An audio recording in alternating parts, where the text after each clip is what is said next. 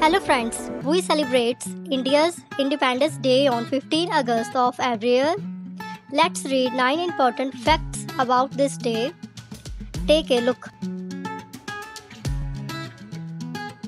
Independence Day is celebrated by the Indian government at the Red Fort in New Delhi. The Prime Minister of India addresses the whole nation by giving speech. The Prime Minister of India unfurled the national flag on Independence Day, whereas President of India unfurled the national flag on Republic Day of India.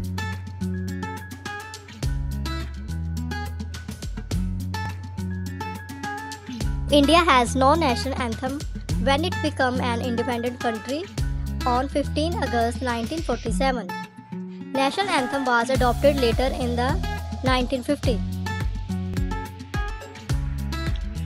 Even after India became independent in 1947, Goa still remained a Portuguese colony.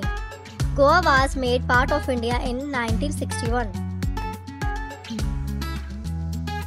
Mountbatten chose 15 August as India's Independence Day because it honored the second anniversary of Japan's surrender to the Allied forces.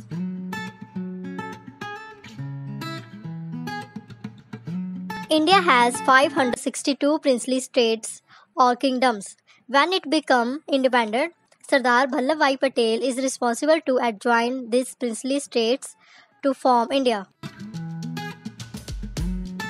Cyril John Radcliffe was given task of drawing the borders between India and Pakistan, but the fact is that he never come to India.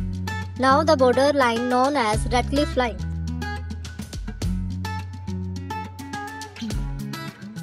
At the time of Indian independence, the price of 10 grams gold was below the rupees 100. There are five more countries in the world which are also celebrated their Independence Day on 15 August. These are Bahrain, North Korea, South Korea, Congo, Liechtenstein.